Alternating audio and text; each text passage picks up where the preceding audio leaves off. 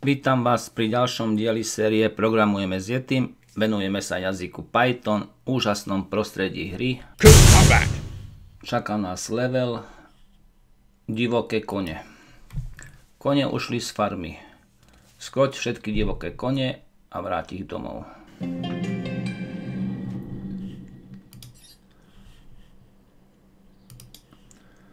Ak budeme hľadať najbližšieho priateľa, ktorým je kôň, Takže nájdi. Teraz to budeme robiť trocha inač, ako sme to robievali pri hľadaní najbližšieho nepriateľa. Naskôr použijeme metódu nájdi najbližšieho.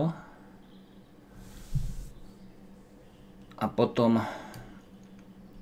ako argument tej metódy budeme hľadať pole priateľov.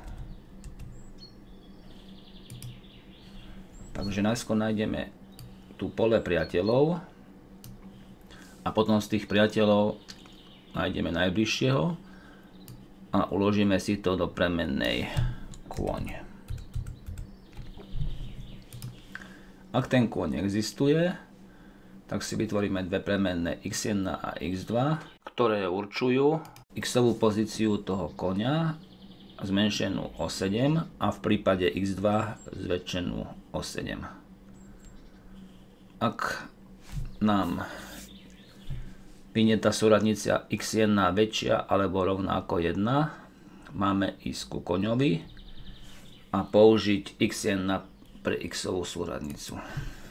Takže choď na xy, x1 pre x-ovú súradnicu to znamená, že pôjdeme o 7 stĺpcov pred konia a riadok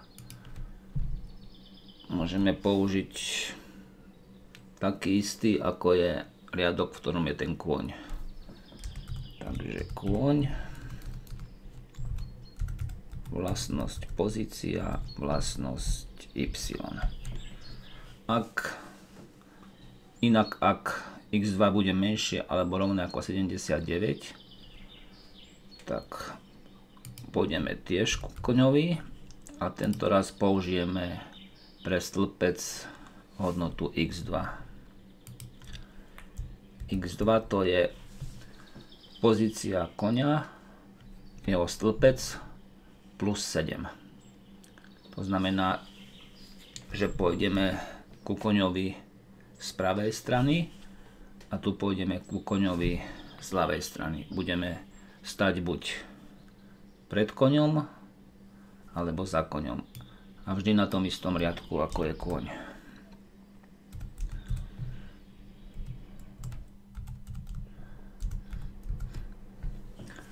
Na riadku 15 si zistíme vzdialenosť ku koňovi a ak tá vzdialenosť bude menšia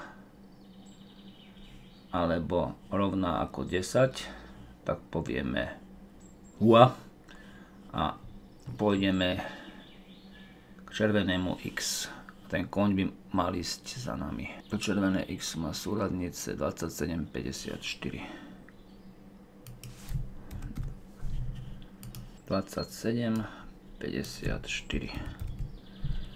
No a potom sa vrátime na pastvinu pre ďalšieho konia. No, vrátime sa niekde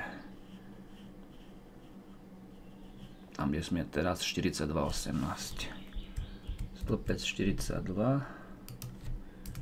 riadok 18 odoslať.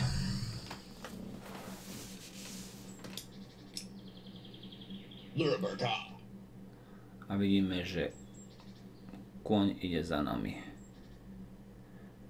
Teraz sa priblížime k koňovi z pravej strany.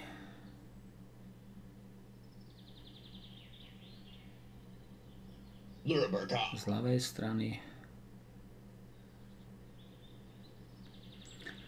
V tomto leveli bol zaujímavý spôsob, ako sme našli najbližšieho priateľa.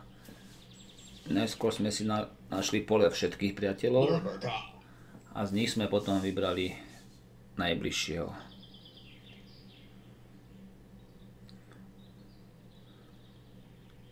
Luribur